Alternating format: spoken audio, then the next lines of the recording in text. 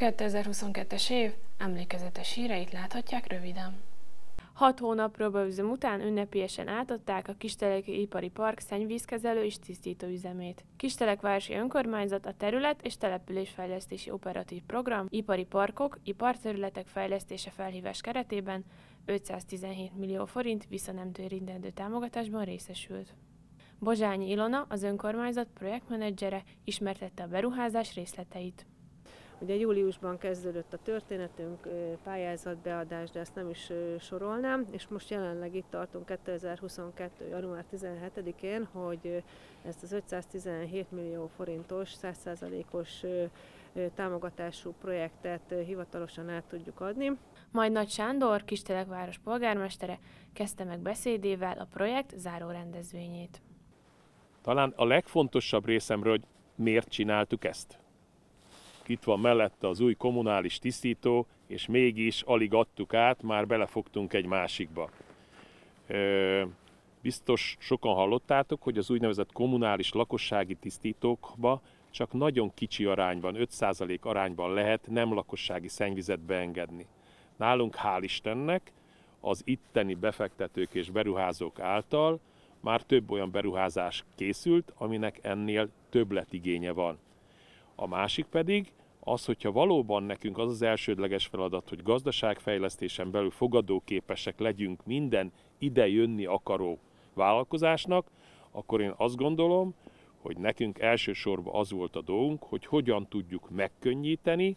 Ezután Csicsai Attila, az UTB ZRT projektigazgatója szakmai és műszaki oldalról mutatta be a szennyvíztisztítót. Ugye ez a projekt az előkészítését polgármester úr elmondta, én inkább a technológiáról, az építésről tudnék beszélni. Alapvetően ugye a technológiailag így 200 köbméter per nap fogadókészségű ipari vizek kezelésére alkalmas szennyvíztisztító telepről beszélünk, amelyik egy úgynevezett hibrátor technológiát képvisel. A társaságnak több ilyen technológiája van, ugye az UTB alapvetően egy szennyvíz technológiák fejlesztésével, kutatásával foglalkozó cég, és emellett kivitelezéssel is foglalkozik. Végül Szentes János, a Probart Kft. műszaki vezetője zárta a beszédeket. Az előzményekben ismertett projekt kapcsán a két szerződés keretén belül végrehajtott ipari szennyvíz és ennek a technológiának a megvalósításának mi voltunk a fővállalkozói. Az egyik alapszerződés szerinti munkát, a csatornahálózat kiépítését azt ö, személyesen mi hajtottuk végre, illetve a technológia kiépítésébe szakkivitelezőként, alvállalkozóként be, ö, bevont UTB, ö, kinek a jeles képviselője most előttem beszélt a technológiával kapcsolatban. Nagy Sándor polgármester és Domonics János alpolgármester Felavatták a nemzeti színű szallag átvágásával a Kisteleki Ipari Park szennyvíztisztítóját és újonnan elkészült csatorna rendszerét. Ezt követően az érdeklődők egy képes összeállítást is megtekinthettek a projekt megvalósításáról, és üzemlátogatás keretében ismerkedhettek meg az új létesítménnyel. Április 9-én rendezik meg a 30. idősebb Vándor Rudolf emlékhangversenyt, erről kérdezzük a zenekar vezetőjét, Cirok Zoltánt. Köszöntöm Önt, mit is tudhatunk erről az emlékhangversenyről? Erről az emlékhangversenyről azt kell először is tudni, hogy most már meg lesz rendezve. Bármi történik, megrendezzük. Tudnélik a 30. jubileumi emlékhangversenyünk, amit 2020 novemberébe kellett volna megrendezni, de az akkori járványhelyzet miatt nem is készültünk rá, mert tudtuk, hogy ezt nem tudjuk megszervezni. És ekkor elhatároztuk, hogy nem marad el a rendezvény, csak elhalasztjuk egy olyan időpontra, amikor meg lehet szervezni ezt az egészet. Hát elérkezett az idő, kinyitották az országot, és ahogy ezt megtudtuk, úgy döntöttünk, hogy nem is várunk tovább. Értesítettük a volt fúvó zenekarosokat, mert ezt már többször elmondtam, mindenütt meg is jelent plakátokon is, hogy a legszebb ünneplés az, amikor azokkal ünneplünk együtt, amikor, akik akik ebbe a 30 évnek a munkájába valamilyen módon részt vettek, tehát volt fúvó zenekarosok találkozója, ahova még meghívtuk azokat a zenekarosokat is, akik nem velünk játszottak, hanem a Rudi bácsi zenekarába vettek részt a munkában. Hát sikerült őket értesíteni, és április 9-én 4 órakor itt a sportcsarnokban végre megtartjuk az emlékhangversenyünket, a 30-at, így 32 év után, de azt hiszem, hogy amennyit vártunk rá, annál szebb lesz, mert nagyon szép, színes műsorra készülünk erre a rendezvényre. 2022-ben rendezte meg jubileumi gáláját fennállásának 40. évfordulója alkalmából a ProArt Elit Táncakadémia. Az est kezdetén Nagy Sándor Kistelekváros polgármestere köszöntötte a résztvevőket. Születésnap az mindig talán az egyik legnagyobb ünnep. Én pont fél időben érkeztem ide, azaz azt jelenti, mikor fölkértek engem 98-ban, hogy jöjjek el Kistelekre, akkor főleg Józsi bácsiék részéről fogalmazódott meg egy kérés legyen olyan hely a kisteleknek, ahol egyébként rendezhetünk táncversenyeket, és nem tudom, Józsi bácsi, Erika néni emlékeztek-e rá, ez 2002-ben volt ez az ünnep, tulajdonképpen fél időben, 20 évvel ezelőtt, és már itt, és akkor ti egy hetes programsorozatot csináltatok, már akkor a lágékat is nagyban közreműködtek ebben, bár alig hisszük, hogy ők több mint 20 évesek, de mégis itt voltak már akkor is. Mit lehet mondani egy, egy születésnapon? Szoktuk mondani, hogy Isten éltessen még sokáig benneteket.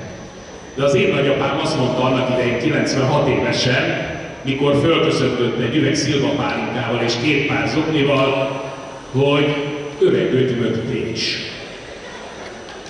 Öt másodperc kellett ahhoz, hogy megértsem azt, hogy mit kíván születésnapon ez az idős ember, aki alig lát, alig hall. Mégis amikor 40 évről beszélünk, egy emberöltőben az gyakorlatilag a legszebb kor. Szerintem kezdjük innen, hogy a Proár talán most ír meg a legszebb korát. Ezután Skufca Török György Melinda beszédében összegezte az elmúlt éveket. Nagyon meg vagyunk hatódva.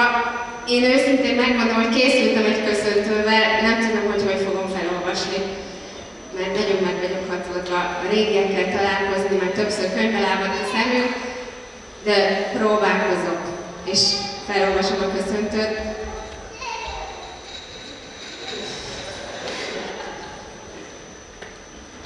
Családunk életében egybefort a tánc és a zene. Édesapám és édesanyám 1981-ben úgy határozott, hogy hivatalos formát ad a tánctanításnak. Megalapították a ProArt táncstúdiót. Így több idő elteltével feltöltött bennem a kérdés, hogy miben ered ez az erő, a tenni akarás, a bizakodás, a kitartás, amely megtartotta és eredményesítette az Egyesületet. Úgy gondolom, mintaértékű a szüleim és a követőik munkája. Három alappillére van ennek a sikernek. Az egyik alappillér az egényes, művészi értékű tánc szeretete, tisztelete, és az, az iránti vágy, hogy ennek a tudásnak a birtokába kerüljünk és átadjuk. A másik pillére a tánc trénerek és edzők, akik fáradtságos munkával, kitartással és erős akarattal a tudásunk legjavát adva tanítják, motiválják és támogatják mindenben a táncosaikat. A mi munkánk a csapatmunka. Nagyon fontos, hogy meglegyen az összhang. És a harmadik pillér a kialakított közösség, amit Nóra is említett. Ez nagyon fontos, és meg szeretném köszönni mindenkinek, hogy eljöttetek, és együtt ünnepelhetjük ezt a 40 éves évfordulat, majd Török György József feleségével és lányaival lépett színpadra, az este további részében pedig a provártosok sótáncai következtek. 40 éves a Mozgáskorlátozatok Csongrád megyei Egyesülete, az elnökét Kurucsai Szabolcsot kérdezzük erről a jubileumi rendezvényről. Köszöntelek, hogyan is kerültél te az Egyesület életébe is, hogy elnöke lettél? Hát lassan három éve lesz, hogy én lettem a Mozgáskorlátozatok Csongrád megyei Egyesületnek az elnöke, és akkor ezt még nem is sejtettem, hogy lesz egy ilyen jubileumi rendezvény, ahogy 1981-ben alakult ez az Egyesület, és 2000 21-ben lett volna 40 éves, csak a Covid egy kicsit behúzta a kéziféket, és akkor nem is gondoltam, hogy majd milyen nagy feladatom lesz én nekem annak idején, három évvel ezelőtt, hogy meg kell egy ilyen rendezvényt szerveznem. Így kerültem egyébként ide, mint elnök, és nem gondoltam, hogy milyen nagy fába vágom a fejszét. Körülbelül sok-sok embernek, nem is mondok számot hány embernek a munkája, egy legalább két-három hónapos szervezés, az nem azt jelenti, hogy állandó szervezés, de azért, hogy minden tökéletes legyen, és vagy legalább több mint száz cég vagy magánszemély támogatása is kellett azért ehhez. De akár az összes polgármester, vagy akár a kisteleki hivatal sok mindenkit adott ehhez hozzá, hogy ez meg egy elkészüljön és meg legyen. Ezen felül ugye ma fellépők is vannak, voltak, kik lesznek ezek, és kik voltak ezek? Hát úgy kezdtük, hogy volt a Vándor Zsudó zenekara, ők eljátszották a himnuszt, akkor volt társas tánc, a csapata, akkor volt, voltak citerások, kisterekiek, volt néptánc, akkor voltak hegedű virtuózok, és most Kaszaroland énekel, előtte volt a Szegedi Pince Színház, és majd négy óra után következik a, a Bebe, és utána a Discontrol nevű egy, Szegedi Együttes fog élőzenét játszani, retro party kifulladásig. Egyesület Csongrád megyében működik, mert a nevéből persze egyértelmű. Most jelenleg 20 településen vagyunk mi ott, több mint 1200 taggal, és a 20 településből majdnem mindegyik csoport képviseli magát, akár 5 fős létszámmal, vagy akár éppen 100 fős létszám, mint a Szegedi csoport. Akkor úgymond érdeklődőek voltak ez iránt, hogy eljöjjenek ide és bulizzanak egyet. Így van, ez rég-rég még a, az, úgy nevezték ezt a programot, nem ez, hanem volt egy olyan, hogy megyei találkozó, és a megyei találkozót pár évente megrendezték. Hol, hol, hol, hol az egyik település, hol a másik településen, de utána ez el, elsikl, elsiklott, ez nem működött, de és akkor így kapóra jött a 40 évnek a jubileumi megrendezése, és így gondoltam, hogy legyen már valami, de azt vettem észre, amikor a feleségem narrálta nekem, hogy beszélgetnek az emberek, bla bla bla, és élik egymással, lehet ilyet mondani, hogy ki vannak éhezve az emberek az emberi kapcsolatra, így a két év Covid bezártság után. Befejeződött a Kistelki református templom építése. Az átadás előtti utolsó igazán látványos mozzanat a templom torony sisakjának felhelyezése volt. A kupola felkerülése után Valkony Károly tervező, Nagy Sándor polgármester, Szabó János Bence református lelkész és Kárpáti Zsolt a kivitelezés vezetőjének köszöntését hallgathatták meg a résztvevők. A Kisteleki református templom e, torony sisakját helyezzük fel, ezzel elérjük az épület legmagasabb pontját, az építetőknek mindig ez egy nevezetes nap, a zöldág napja, amikor a munkájuk gyümölcsének az első és leg, legjelentősebb eredményét látják, és ez mindig egy ünnepi nap mindannyiunk számára.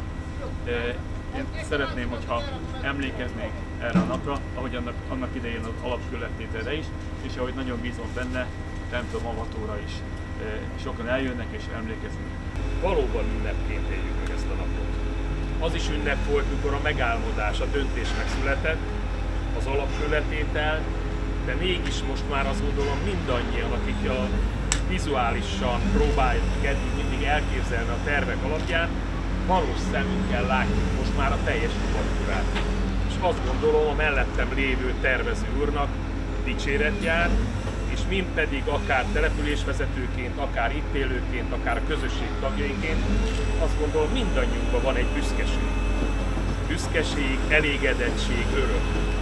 És, és olyan jó érzés, akár, akár bármelyikünk, akik halandóként itt vagyunk, hogy megélhetünk egy templomét. Megélhetjük annak minden tégla kövét, és azt gondolom, hogy ennek a tovább folytatása, majdnem azt mondtam, hogy használata, a megélése ennek a helynek, az ezekkel a pillanatokkal mértékadóan gazdagodik. A köszöntő szavak után lehetőség nyílt arra, hogy a templom épületét belülről is megcsodálhassák a jelenlévők. Valkony Károly tervező ismertette a már elkészült és a még hátralévő tervek részleteit.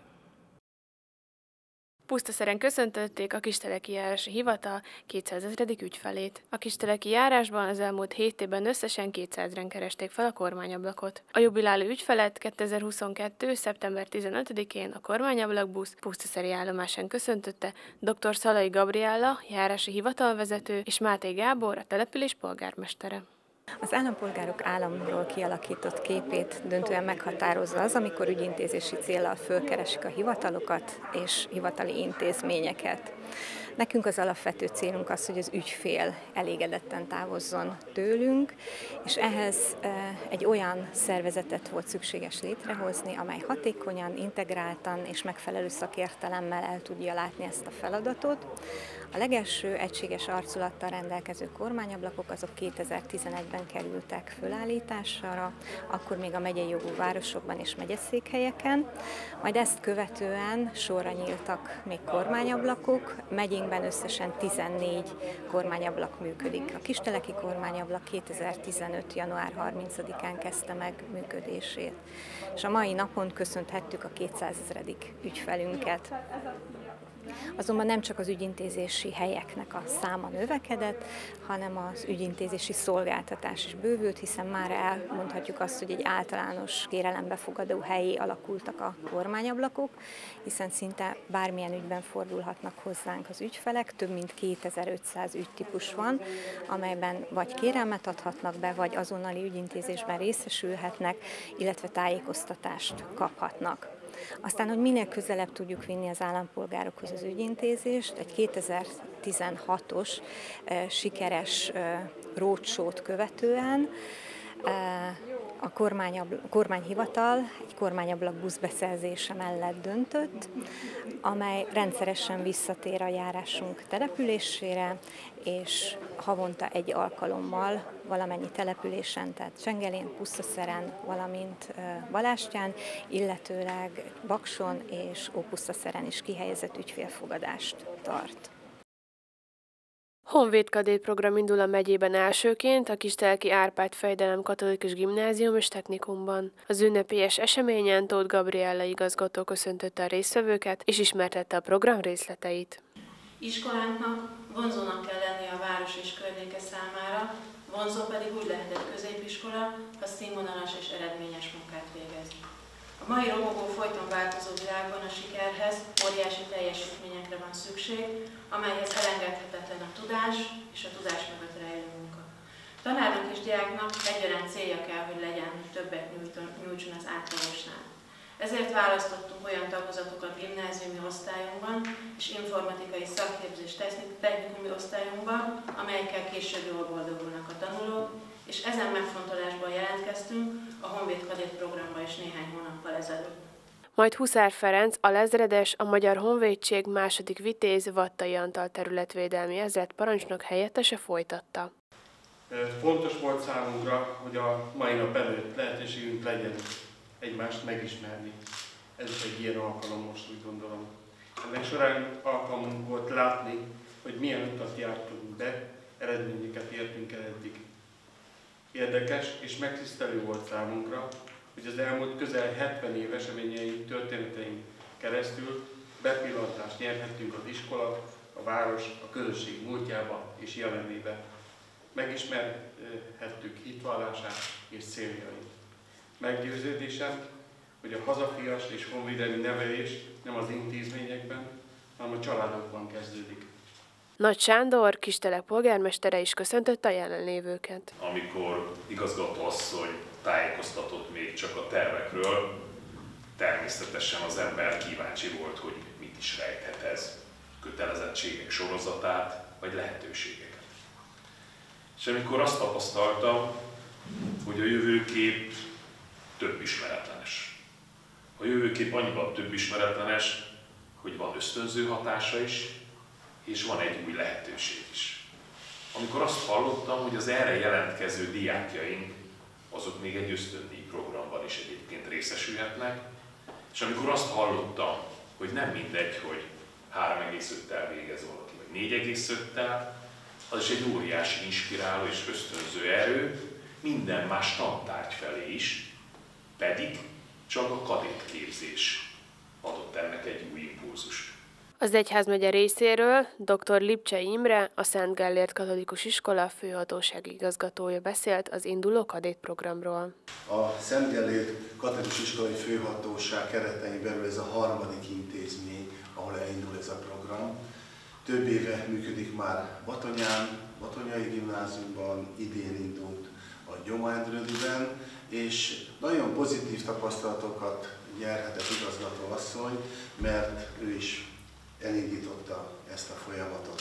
Ennek nagyon örültem, mert jó az, hogyha több irányú képzés folyik egy intézményben, és itt is a diákok megismerkedhetnek új információkkal, új impulzusokat kapnak, hogy itt elhangzott már, e, illetve e, megjelenik az életükben egy szervezettség, egy rendszeresség, ami reméljük majd a, az életvitelüket is kicsit átalakítja, amelyre azért egyre nagyobb szükség van. Végül pedig Huszár Ferenc alezredes, a Magyar Honvédség második Vitézvatti Antal területvédelmi ezred parancsnok helyettese, dr. Lipcsei Imre, a Szent Gellért Katolikus Iskola főhatóság igazgatója, és Tóth Gabriella, az Árpád Fejdelem Katolikus Gimnázium és Technikum igazgatója aláírásukkal is ellátták az együttműködési dokumentumot. Az ünnepélyes aláírást követően Almási László, a lezredes, az együttműködésről szóló díszes tanúsítványjal erősítette meg az aláírt dokumentumokat, melyet egy kültéri tábra kíséretében adott át Todd Gabriella igazgatónak.